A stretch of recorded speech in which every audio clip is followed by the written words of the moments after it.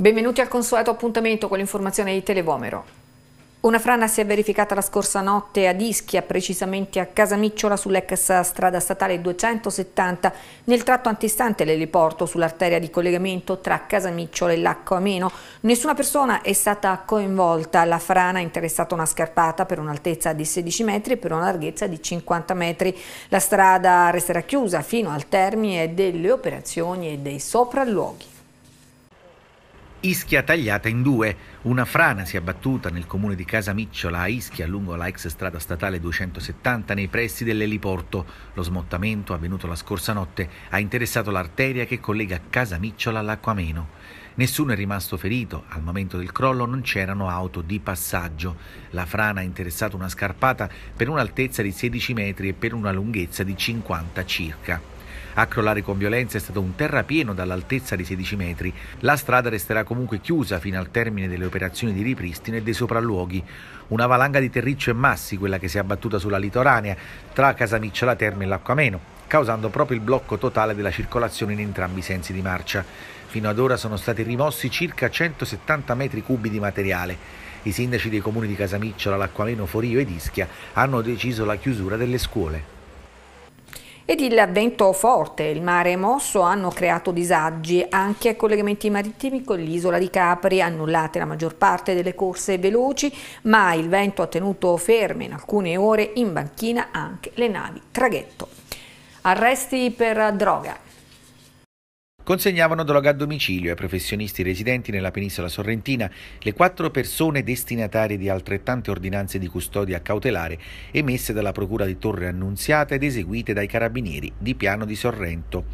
A finire in manette due donne di 28 e 35 anni e due uomini di 22 e 35. Nelle rispettive case i militari hanno rinvenuto cocaina, crack e marijuana, per loro anche la misura del divieto di dimora nella penisola sorrentina.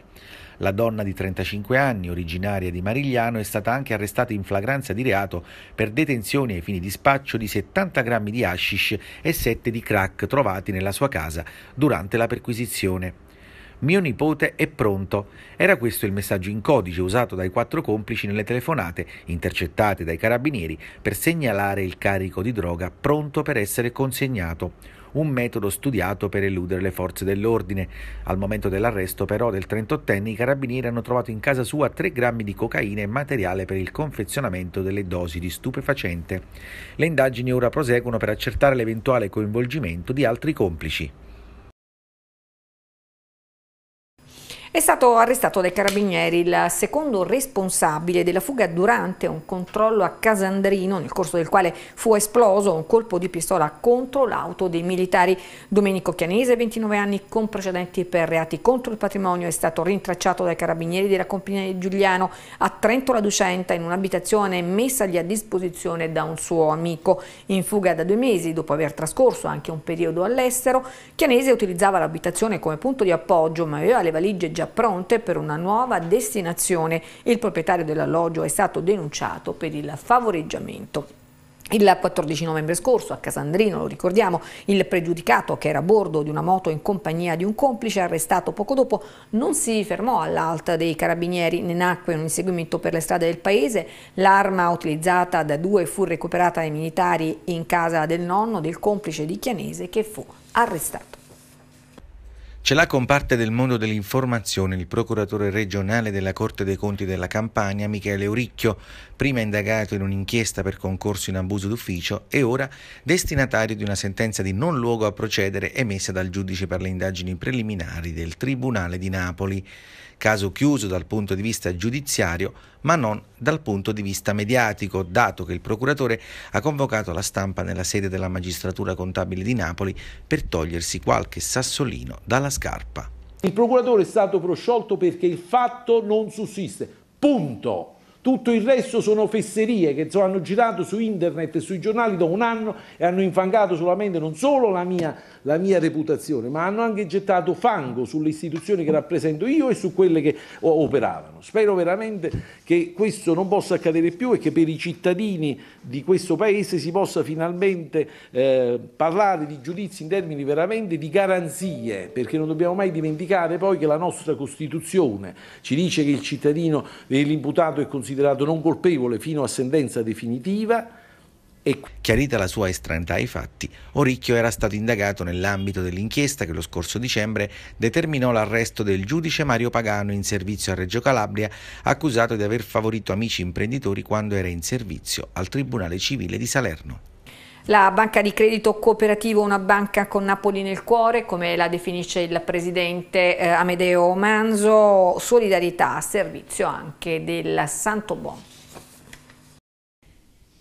Presso la palestra di riabilitazione robotica dell'azienda ospedaliera Santo Bono Pausilipon, la cerimonia di inaugurazione dell'Alter G, il macchinario indispensabile per la riabilitazione dei piccoli pazienti sottoposti ad interventi di chirurgia ortopedica agli arti inferiori e per migliorare la mobilità, la forza e la sicurezza nei pazienti con malattie neurologiche, restituendogli così la possibilità di camminare L'acquisto di questo macchinario è stato possibile grazie ai soci e ai clienti della Banca di Credito Cooperativo di Napoli che in mille hanno partecipato con entusiasmo al concerto di beneficenza Una banca con Napoli nel cuore, il cui ricavato è stato devoluto a favore della Fondazione Santo Bono Pausilio Onlus. Nella cappella dell'ospedale Santo Bono si è tenuto un momento anche di incontro e preghiera alla presenza di Sua Eminenza il Cardinale Crescenzo Sepe, Arcivescovo di Napoli qui in un contesto come questo, cioè che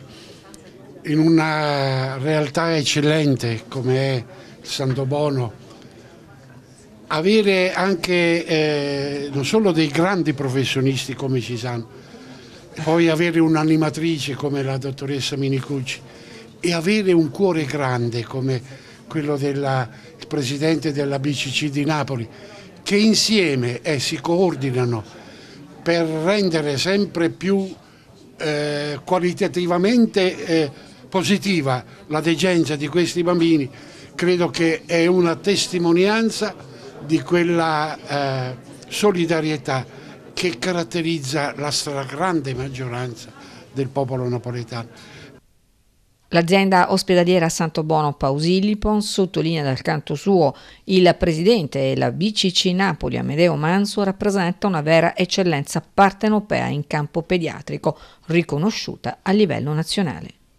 Sì, una straordinaria giornata di sole in un ospedale straordinario, pieno di eccellenze, nel quale eh, doniamo questo macchinario Alter G a favore degli ultimi, di chi soffre, dei bambini napoletani, grazie anche all'opera del direttore generale del Santo Bono, del Cardinale. La nostra banca è vicina alla città, ai piedi nella città e soprattutto al cuore a Napoli.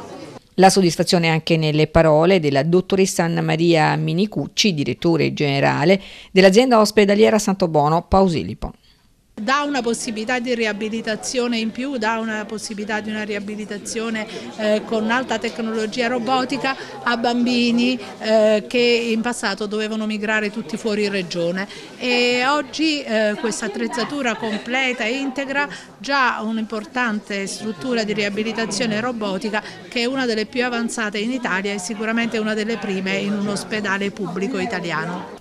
E nel giorno in cui emergono nuovi particolari inquietanti dalla, della bomba al locale di Gino Sorbillo, alcuni imprenditori e commercianti si lasciano andare a commenti di cattivo gusto e a tratti quasi giustificano la camorra affermando che non esiste. Ad um, sottolinearlo è il consigliere campano dei Verdi, Francesco Emilio Borrelli, pubblicando su Facebook un nuovo video della bomba posta nei giorni scorsi all'esterno della nota pizzeria in via dei Tribunali. Nonostante i proclami del ministro dell'interno, dice Borrelli, la prepotenza dei clan non sembra affievolirsi. Ieri una nuova bomba carta che non esplosa da Fragora solo a causa, grazie alla pioggia che ha disinnescato l'ordigno. D'altronde le passeggiate, dice ancora Borrelli, selfie, sorrisi, le ironie su chi la pensa diversamente, i baciamano non servono a sconfiggere la malavita che c'è e bisogna combattere. 700 studenti, circa la metà di quelli presenti nell'Istituto Elena di Savoia, presteranno il loro supporto alla mensa della comunità di Sant'Egidio, consegnando i pasti preparati durante l'attività didattica. È il fulcro del protocollo firmato dalla scuola e dalla comunità e presentato agli studenti nel corso di un incontro moderato da Roberta Catapano, incentrato sulla cittadinanza attiva e solidale, l'impegno dei giovani per la rete interistituzionale. Ascoltiamo il preside dell'Elena di Savoia, Salvatore Laino. Questo noi coniughiamo la crescita dei ragazzi sotto l'aspetto culturale, sociale, con eh, diciamo, il l'utilità eh, per questi stessi ragazzi di sentirsi protagonisti nel sociale. Realizziamo la cosiddetta sussidiarietà orizzontale mettendo insieme tutte le energie possibili in questo modo per la solidarietà dei poveri, di coloro che non hanno la possibilità, di coloro che non hanno i mezzi per il sostentamento per la comunità di Sant'Egidio l'educatrice Giovanna Casiello. Noi vogliamo come comunità di Sant'Egidio trasmettere ai ragazzi il concetto che la cittadinanza attiva è qualcosa che si può vivere partendo da se stessi. Si deve iniziare a credere che il mondo possa cambiare partendo da se stessi, dal proprio cuore. La forza dei giovani è, l'ascolto, l'ascolto del Vangelo e il riuscire a stare sempre pronti per l'altro. Presente la senatrice Valeria Valente, ex alunna dell'Elena di Savoia. Raccordo scuole, famiglie, un'intera comunità, però insegnare ai nostri ragazzi a sentirsi parte della propria comunità e a dare il proprio contributo è sicuramente la scommessa oggi forse più importante che si può giocare tutti quanti insieme nella fase della crescita dei nostri ragazzi. È di due morti e un ferito il bilancio di uno scontro tra due auto avvenuto sulla fondovalle Sclero nei pressi dello svincolo di Airola vicino Benevento, probabilmente a causa del fondo stradale reso viscido dalla pioggia. Nell'incidente stradale sono rimaste coinvolte una vettura su cui viaggiavano un uomo e una donna, entrambi sessantenni residenti a Casoria, deceduti sul colpo e un'altra utilitaria guidata da una donna di Cervinara vicino Avellino che è rimasta ferita ed è ricoverata in ospedale. Per le due vittime a nulla sono valsi i soccorsi prontamente giunti del 118 dei Vigili del Fuoco sulla dinamica dell'incidente indagano i carabinieri. Una maggiore tutela dei medici e del personale ospedaliero è quanto ha chiesto Bruno Zuccarelli, vice segretario nazionale ANAO, al ministro dell'Interno Matteo Salvini, facendo riferimento alle continue aggressioni in cui, in particolar modo a Napoli, sono spesso vittime gli operatori sanitari. L'intervento durante l'assemblea pubblica dei medici campani, tenutasi all'ospedale San Giovanni Bosco, che ha visto riunite numerose sigle sindacali a sostegno dei dipendenti del nosocomio napoletano e impegnati a risolvere alcune questioni come le carenze di strutture e di personale intervenuto Antonio De Falco, presidente del sindacato CIMO. Le eccellenze sono al San Giovanni Bosco come dappertutto, indipendentemente da quelle che possono essere le carenze strutturali che non possono cadere sulle spalle di chi opera in queste strutture. Questo è importantissimo perché chi opera in queste strutture ci mette la faccia, lo fa in ogni caso chi dovrebbe preoccuparsi di dare a, queste, a, questi professionisti il meglio della disponibilità e della locazione qualche volta è stato, diciamo, possiamo dire un po' carente per usare una, un eufemismo. Ascoltiamo Vincenzo Bencivenga, segretario regionale ANAO Assomet. L'insicurezza che si vive negli ospedali da parte degli operatori, l'incertezza della programmazione, l'incertezza dell'organizzazione, che non fa altro che far vivere in pieno burnout gli operatori sanitari che con grande sacrificio danno assistenza al meglio possibile nonostante carenze organizzativi e strutturali. Il mini tour solidale di Monica Sarnelli organizzato in occasione dell'uscita del nuovo singolo Tu si meglio me arriva al Circolo Posilli poi in una serata che raccoglie fondi per il progetto Scampia della comunità di Sant'Egidio.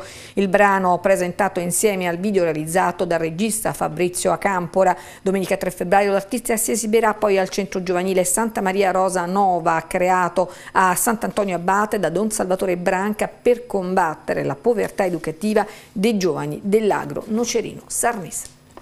Come fatta a pensare che non ti voglio bene, ma come fatta a pensare una cosa così infame. Continua il mini tour solidale di Monica Sarnelli, organizzato in occasione dell'uscita del nuovo singolo Tu si meglio me Il brano sarà presentato insieme al video realizzato dal regista Fabrizio Acampora al Circolo Posilipo di Napoli nella serata che raccoglierà fondi per il progetto Scampia della comunità di Sant'Egidio. Domenica 3 febbraio l'artista si esibirà poi al centro giovanile Santa Maria Rosa Nova, creato a Sant'Antonio Abate da Don Salvatore Branca per combattere la povertà educativa dei giovani dell'agro nocerino sarnese. Il nuovo singolo della straordinaria interprete traccia con decisione un percorso orientato verso sonorità pop melodiche attraverso la partitura di Sally Monetti e Federico Spagnoli, autori della musica, e attraverso una meticolosa produzione artistica firmata, come sempre nelle ultime produzioni di Monica Sarnelli, da Gigi De Rienzo. Abbiamo cominciato sì, con grande successo il 27 dicembre al carcere di Pozzuoli femminile e prosegue questo tour solidale. C'è grande aspettativa perché quale migliore occasione? La mia canzone Tu sei meglio me eh, scritta da Federico Spagnoli, Sally Monetti e Bruno Lanza è un messaggio d'amore. Un messaggio d'amore eh, che voglio abbia una finalità, uno scopo e con eh, questo mini tour solidale avremo lo scopo che desideriamo, è quello di aiutare i più deboli. Un messaggio d'amore dedicato a quelle persone che pur volendosi bene vivono un momento di incomprensione, per cui un messaggio di positività alla vita e, perché no, tu sei meglio a me, non mettiamoci sempre noi sul piedistallo, si può anche incontrare chi è migliore di noi e imparare. La musica deve essere un veicolo per trasportare emozioni e fare soprattutto felice la gente, per cui non c'è altro scopo.